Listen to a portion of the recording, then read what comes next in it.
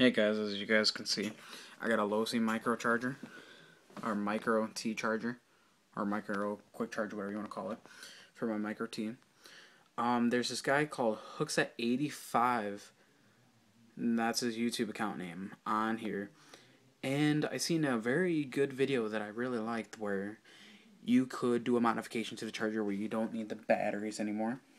And what you need is a 12 volt DC the output has to at least be a 12 volt DC. Like it has to be a 12 volt AC input and 12 volt DC output with at least a 500 milliamp charge. If it's not, then it's not going to work correctly. Um, basically, what you do is you open up your charger, and once you get to the board, on the underside of the this part right here, which is the battery box, is under there. Um, on that, there'll be a positive and negative wire going to the battery box, like down the bottom. And basically, all you have to do is just take your positive and negative and put them on there. And you can completely desolder them and do that, or and put it in a different project box, which I kept in a normal Losi box. And what I did, I took a pair of um, soap fail side cuts, and I cut a little flap out. I mean, yeah, you can see inside, whatever, blah, blah, blah, blah, blah. Not the cleanest, but I can seal it up if I wanted to and I did that. And I ran the wires out. But what I did is I spliced into the wires. So in case if I wanted to, if I was on the go, I could put batteries in it, and it does work. I've tested it. But then you got the thing, you know, you got that long cord, and it's like, oh hell, if you want to go take it out, you can because you got the cord. Well, I solved that problem too.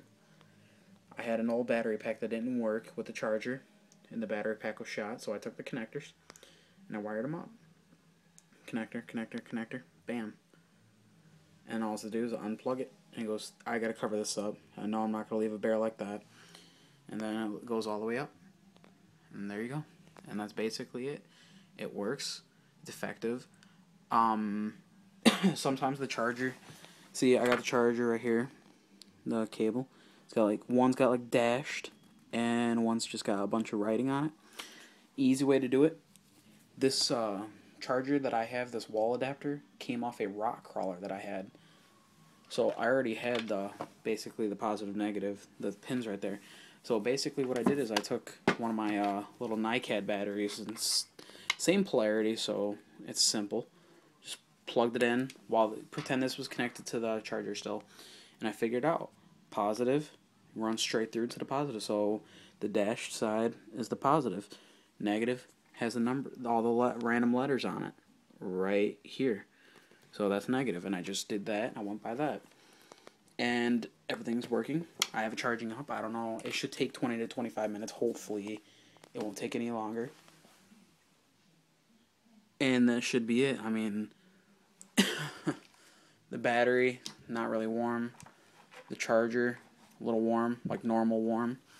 Um, if you're gonna do this at first, your first time doing it, I suggest that you sit there and just watch it just in case if there's something happens. And that's another thing, reason why I added that little disconnector here, just in case, say, because I did it just for testing before I actually did it, but then I like that idea. But just in case if something was to spark or smoke, just unplug it. But thanks, guys. And that's it. I mean, as said, his name is Hookset85. I give him all the credit. I mean, without his video, I'd have been buying batteries. Um, and that's basically it. Thanks, guys.